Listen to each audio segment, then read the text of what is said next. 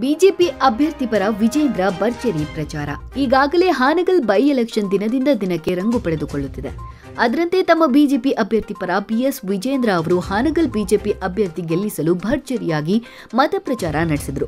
ಹಾನಗಲ್ ಕ್ಷೇತ್ರದ ಬೀದಿ ಬೀದಿಗಳಲ್ಲಿ ವಾಹನದ ಮೂಲಕ ಸಂಚರಿಸಿ ಬಿಜೆಪಿ ಪಕ್ಷಕ್ಕೆ ಮತ ಹಾಕಿ ಎಂದು ಮತದಾರ ಪ್ರಭುಗಳಿಗೆ ಮನವಿ ಮಾಡಿಕೊಂಡರು. ಅಲ್ಲದೆ, ಇಂದು ಬಹಿರಂಗ ಪ್ರಚಾರ ಅಂತಿಮವಾಗಿದ್ದು, ಅದರಂತೆ ಬಿಜೆಪಿ ಕಾರ್ಯಕರ್ತರು ವಿಜೇಂದ್ರ ವಾಹನದ ಮುಂದೆ ಬಿಜೆಪಿ ಧ್ವಜವನ್ನು ಹಾರಿಸುತ್ತಾ ಪ್ರಚಾರ ನಡೆಸಿದರು.